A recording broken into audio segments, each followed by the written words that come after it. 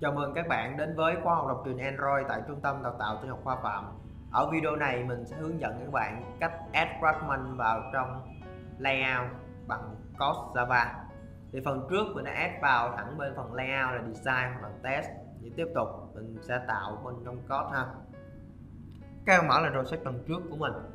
Thì hiện tại có hai cái XML mình sẽ xóa nè. À, và do là mình nói add vào ở trong code nên nó phải cần một cái nơi nào đó để add, còn không nó add thẳng vào thì nó không biết vị trí nào nó nằm ha ở đây mình sẽ dùng một cái layout khác, mình ờ, định hình lại cho nó. Đây mình dùng frame layout. Kéo vào cái frame layout này mình đặt kích thước cho nó. Do đang trong constraint dùng giá nó như sau. Một cái khung đặt phía dưới cái text view hello world. Constraint thì như neo nè bên trái nè. Và nằm dưới text view hello world. Nằm dưới đoạn vậy đây. À neo hai bên đây mình gắn cứng à và đặt id cho nó. Nó là để nó chứa thôi đặt nó là frame content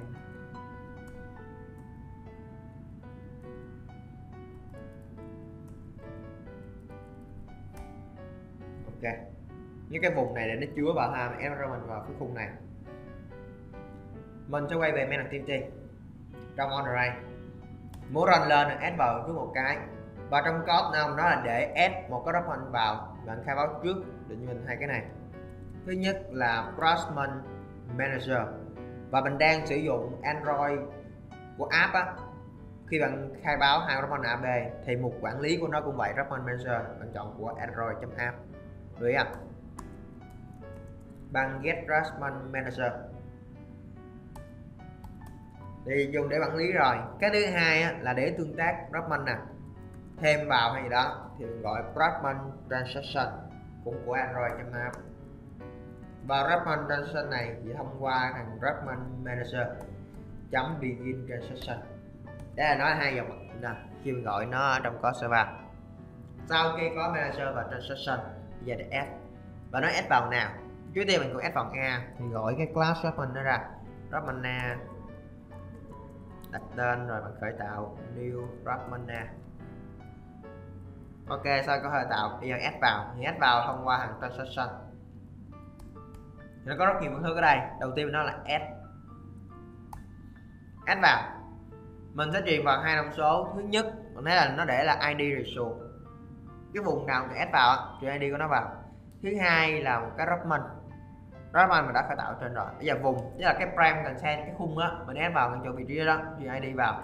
R, chấm id và frame content. Thứ hai là cái document mình vừa khai báo khởi tạo ở trên, chính là document a. Thì sau khi s? Và nói sau khi s? Tới dòng này nó chỉ nói là nó yêu cầu được s thôi. Mình phải khai báo thêm cho nó một dòng nữa. Gọi document transaction. Chấm. Commit để xác nhận. Commit này nó giống trong thằng Severancy mình đã học rồi à, Brabant Johnson commit dòng cuối cùng à, để xác nhận. Bây giờ mình sẽ run lên.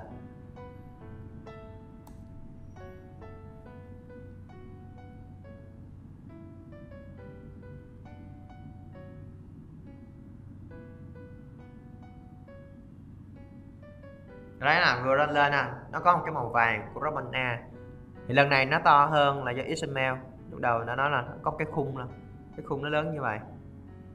Đấy, cái khung nó. Rồi, ok. Nhưng bây giờ mình nói là muốn add thằng A rồi. Add luôn B. Bây giờ add thử B. Quay về à, main activity. Nếu add vào B thì mình cũng khởi tạo. Wrap B. New wrap B đây và sau thì SA mình nhầm nó S vòng B và cũng cùng vị trí graph.junction.s truyền vào vùng ID frame content thứ hai là Broadman B. Là dòng cuối cùng biết rồi. Mình ra lại.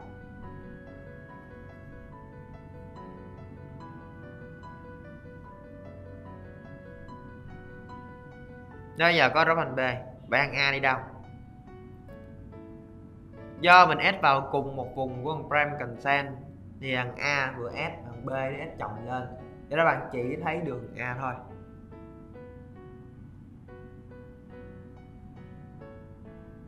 Bây giờ muốn add một lần à, cả hai cái mà nó luân phiên thay đổi nhau thì sao?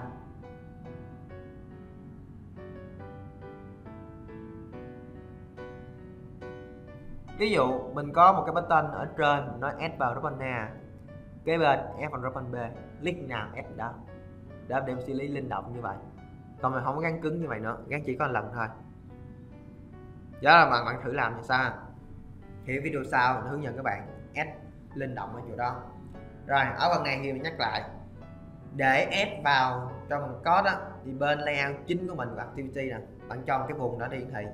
Nếu mà bạn đang sử dụng linear layout như xếp dọc, bạn đẩy nó vào trong nguyên cái ID của cái line vẫn được tại mình đang trong constraint thì phải cho nó cái khung hoặc restrict gì đó. Cái khung hiển thị nằm chỗ nào.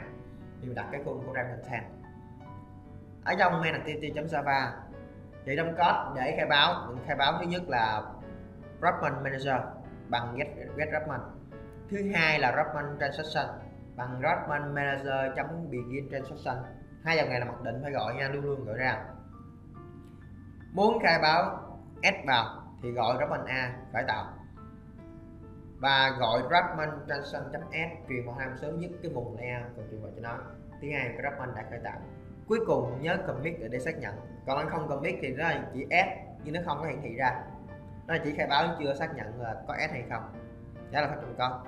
Thì phần sau thì hướng dẫn các bạn S nó linh động hơn ha. Dùng hai button cảm ơn các bạn đã theo dõi.